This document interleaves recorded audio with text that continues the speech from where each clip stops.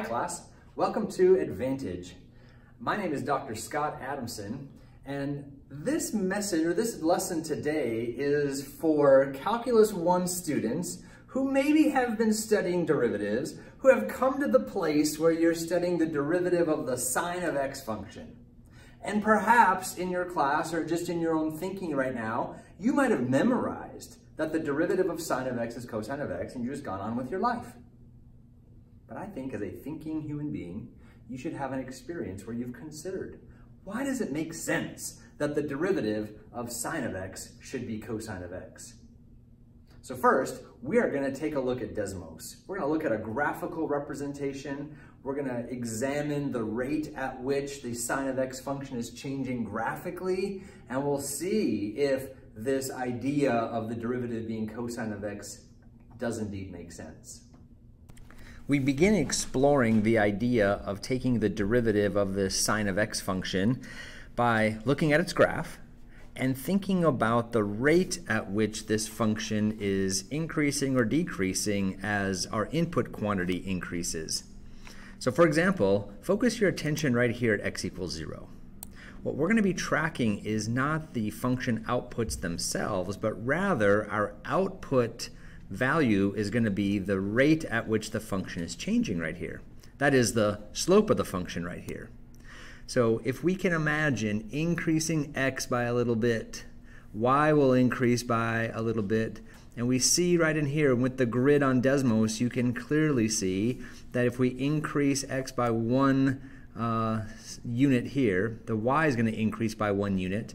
And so we're seeing a rate of change here of about 1 to 1, about a rate of 1. So let's see if that makes sense in terms of what Desmos will produce. Notice here in blue, I'm going to graph the definition of derivative. f of x plus h minus f of x all over h. And part of that definition also is the limit as h approaches 0. And so notice I can adjust h to be as close to 0 as I desire. I will make it about that close to 0. So let's see what happens. I think that the slope at 0 should be around 1. It looks like we're seeing a 1 to 1 ratio there for the slope. Let's see. And indeed, we see there in blue, Desmos is plotting as an output the rate at which this function is changing. Now let's continue thinking. As x increases, the rate at which this function is increasing is changing, but very slightly. If you look in here, it looks like that one to one ratio. If you look in here, it's maybe just slightly less than one to one. And then you look in here, it's even slightly less, more less than one to one. Now in here, it's clearly less than one to one. So the derivative function in blue is a decreasing function, and we'll see that. As x increases, the rate at which the function sine of x increases is decreasing. Now the rate is still positive, but the rate is less and less positive as x increases until when we reach an input value such that this function is at its maximum. Right in here, if we increase x by just a little bit, the function barely changes at all. And so at the peak here of this function, the rate of change, the derivative function, should be at 0, which certainly it is. And we continue to the right. The rate of change now is negative. If we increase our input quantity x, our output quantity y drops. So we have a negative rate of change, slight negative, more negative, more negative. Mm, right in here, it's as steeply negative as we're going to see. And so we'll see the blue function tend towards this negative rate of change, more and more and more negative, until just where we thought we reach the most negative rate of change we will see. At which point, the rate of change is still negative, but less negative, less negative, less negative, less negative, until right here at this valley, we see again a rate of change of zero. So the blue function should now, while still um, indicating a negative rate of change, will be less negative, less negative, less negative, and then zero. And then that pattern just continues. This is a periodic or cyclical function. And so that same behavior of positive, most positive rates of change, positive but less positive rate of change to zero, negative and then more negative rates of change, etc. that pattern will continue indefinitely. And so what we observe here in blue, if you're familiar with your trigonometric functions, this blue function resembles a cosine function. Let's do a quick check and see. And I hope you can see now in orange, certainly, we do have a cosine function. Now keep in mind that limit as h approaches zero. Notice that as h approaches zero, that rate of change function gets closer and closer and closer and closer to behaving just like that cosine function.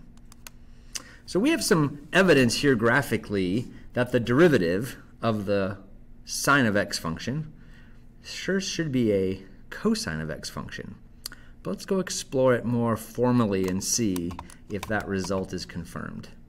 So certainly after working with Desmos, you've seen that the derivative of sine of x, the rate at which the sine of x function changes, certainly appears to be changing in such a way that it matches the cosine function. So yeah, we can make a claim that if f of x equals sine of x, the derivative of f of x should be cosine of x. And that graphical evidence is very strong and compelling evidence. But it's not a formal mathematical justification of that fact. And so we're going to continue on with proving that or justifying that fact by going back to our limit definition of derivative. So from a previous video, you can um, make sense of or be get an opportunity to make sense of why this formula makes sense. Hopefully you're already there, but we're going to start there as our definition of derivative, and we're going to apply it in the case of the function sine of x. It would go like this. So we need the limit as h approaches 0 f of x plus h. So if we input x plus h into this function, the output will be the sine of x plus h. Minus f of x. If, if we input x into this function, then we get sine of x. That is the function. f of x is the sine of x. And then all of that gets divided by h. Now, at this stage, we have to have a little um, conversation about what this really means. There is no multiplication in here. This is the sine of an angle measure in radians. That is some angle measure x plus a little bit more. The sine of x plus a little bit more. This sum of two angle measures and the sine of that has a special um, relationship that we need to remind you of. To continue our process of justifying the derivative of sine of x, we have to have a, I'm going to call it fun fact number one. The sine of a sum of two angles. Now back in our context, we're going to have some independent angle measure, some input quantity that's an angle measure in radians, increased by a little tiny bit, another tiny bit of angle measure. And from a past trigonometry experience, you may recall, or if not, trust me, this is fun fact number one. The sine of a sum of two angles is the sine of the first angle times the cosine of the second angle, which is going to be really small, plus the cosine of the original angle times the sine of that second angle, which again is really small. So we're going to take this fun fact number one and bring it back to our justification. So sine of a sum is, has an identity that we need to use in this moment.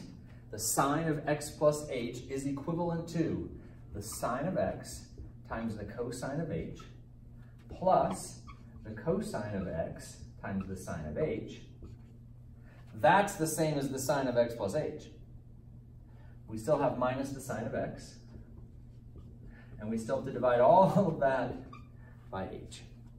Now keep in mind that at this moment, we are eventually going to think about h going to zero, but we can't think about that now because if h is really, really, really small, we're dividing by really, really small. So we have to do some more algebraic manipulations to get to a place where we can actually evaluate this limit. So let's keep going. I'd like you to notice that this first term, sine of x cosine of h, and this last term, sine of x, have a common factor of sine of x, which will be useful to us if we rearrange this a little bit. So the numerator I'm going to rearrange equivalently as the cosine, uh, the sine of x times the cosine of h. I'm going to bring the minus sine of x in next. And then have the plus cosine x sine h. And this is really just for convenience so we can make some algebraic moves to eventually evaluate this limit. And the next algebraic move we're going to make is in those first two terms we have that common factor of sine of x. Let's factor it out.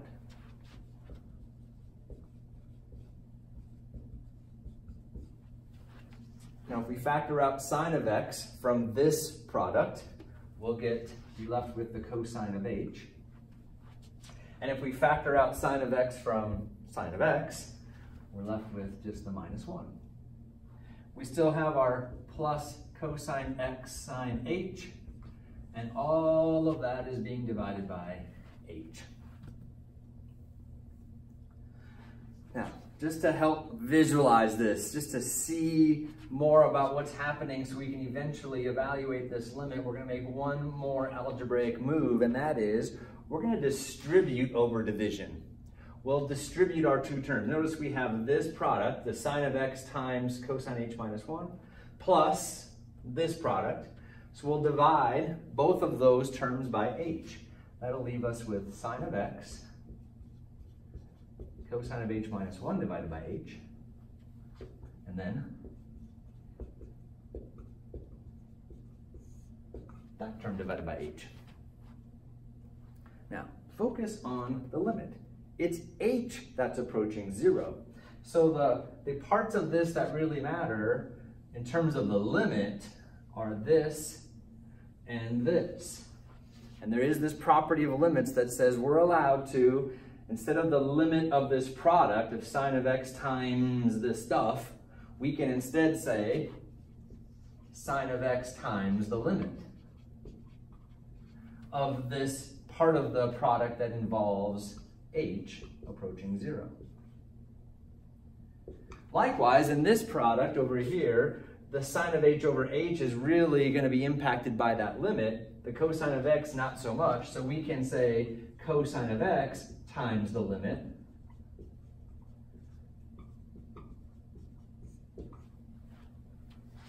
Now, to have two limits that we can evaluate. So we have those limits.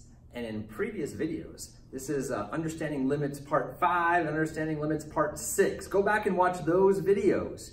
And in those videos, we make a case for this. As, as h approaches 0, cosine h minus 1 all over h approaches 0.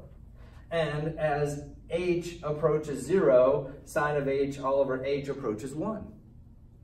So at this moment, trust me that those are true. Go watch those videos if you need to understand why those are true. But we're going to use these two fun facts to come back and finish up our justification. So using those two limits that we have previously studied, we now have sine of x being multiplied by this limit. And we know that that limit, as h approaches 0, cosine h minus 1 all over h also approaches 0 plus, we have cosine of x times, as h approaches 0, sine of h over h approaches 1. And now the, re the result just kind of falls in place. Sine of x times 0 is 0, plus cosine of x times 1 is cosine of x. And so just as we predicted, the derivative of the sine of x function is indeed the cosine of x function as we saw graphically, and now we've seen it based on the limit definition of derivative.